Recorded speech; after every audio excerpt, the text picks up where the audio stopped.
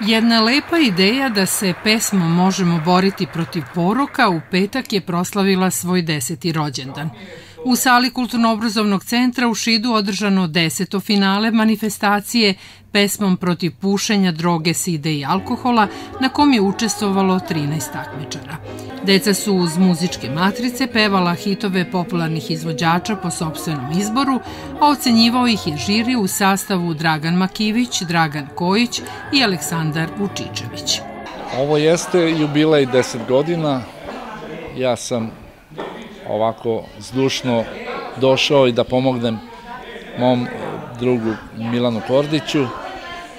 A mogu da kažem da deca malo uzimaju preambiciozne pesme, a i da vam kažem iskreno, i matrice, ja sam ne znam gde ih nalaze, nisam baš zadovoljan sa matricama, i onda uzimaju pesme od muških pevača i onda ti tonaliteti toj maloj dečici ne odgovaraju. Tako da često padnu, zglajžu, tako da nisam previše zadovoljan, ali bilo je tu tri, evo to su ta tri pevača koje su osvojile prvu, drugu i treću nagradu, koji su sasvim solidno to ovaj, odradili i sasvim zasluženo su uzeli ta prva tri mesta. Prvo mesto zasluženo je osvojila srednjoškolka Emilija Radivojević i za dar dobila Zlatni Lančić.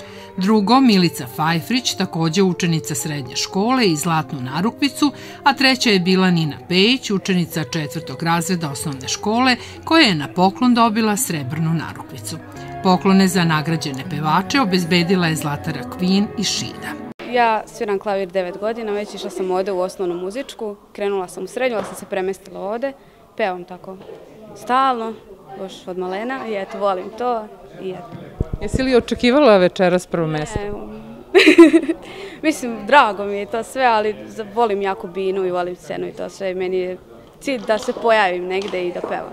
Eto. Imaš li ambicije da postigneš nešto više u pevanju? Pa da, volela bi da snimam tako nešto na YouTube, da kačem i eto, da sviram pevam. Koja je muzika koju najčešće slušaš? Uglavnom džez, volim i metal i rock, i pop, eto, to je uglavnom to.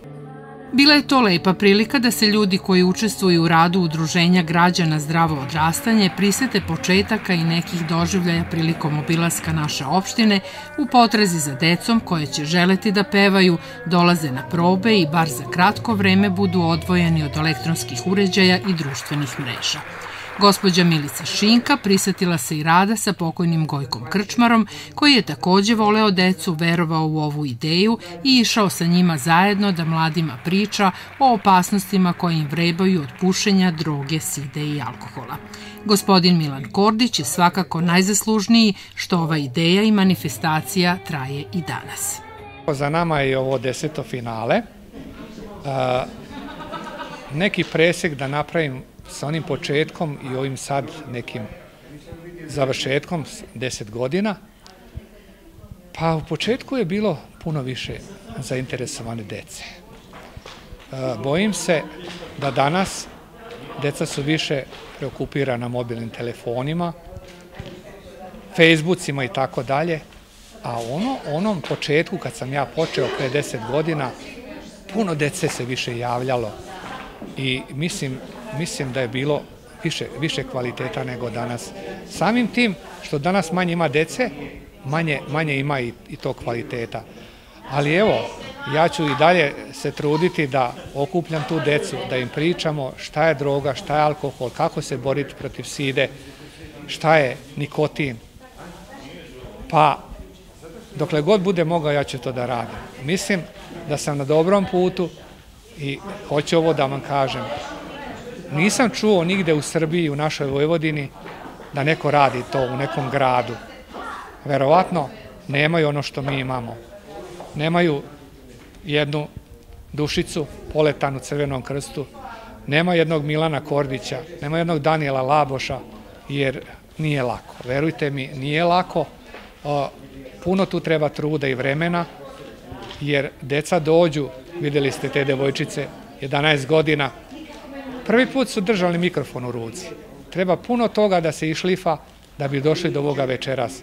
Naravno Ima tu još puno toga da se doradi i uradi, ali mislim da smo na pravom putu. Kroz ove manifestacije prošlo je dosta dece. Neki od njih su danas zreli ljudi i kako reče gospodin Kordić, za sve se može reći da su za ponos svojim roditeljima pre svega, a onda i društvenoj zajednici, a za pobednike kaže da se ne bi postidali svog pevanja ni na radio i TV stanicama.